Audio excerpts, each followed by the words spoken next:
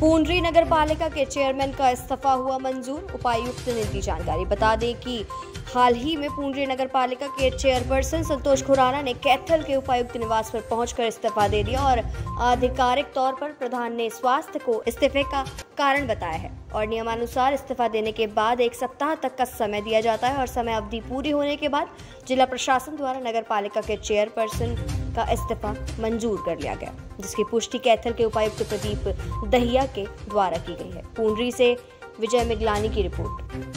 Sir कुंडली के chairman के इस्तीफे की जो कार्रवाई है क्या कुछ अब तक अमल में लाके क्या कुछ चल रहा है सर? देखिए पुंडरी जो म्यूनिसिपल कमेटी है उसके चेयरमैन जो संतोष रानी जी थी उन्होंने रिज़ाइन किया था 21 तारीख को। तो जो द म्यूनिसिपल एक्ट 1973 के अकॉर्डिंग जो सेक्शन 20 में है, उनको सात दिन का समय होता है, अगर वो वापस लेना चाहें, या फिर और कुछ कार्रवाई वो चाहें इसमें कि हमने विड्रॉ करना है। लेकिन सात दिनों में उन्होंने कोई कार्रवाई नहीं की, इसलिए वो सात दिन पूरे हो गए हैं तो आज मैंने सुबह वो लेटर भेज दिया है।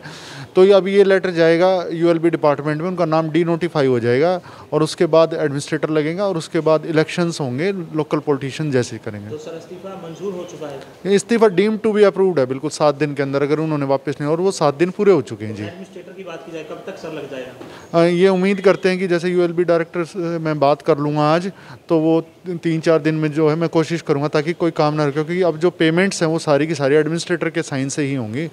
अब जो रोल है एडमिनिस्ट्रेटर का ही होगा मोस्ट प्रोबेबली हमारे जो एस डी एम हेडक्वार्टर है उनको लगाया तो जाएगा। तो जिला जिला लेवल से इस्तीफा मंजूर हो गया है। हाँ जी हाँ जी डी सी ने अप्रूव कर दिया है वो और अब वो यू एल बी पे डी नोटिफाई हो जाएगा। उनका नाम कि सरकार डी नोटिफाई कर देगी कि अब ये प्रेजिडेंट नहीं है। ओके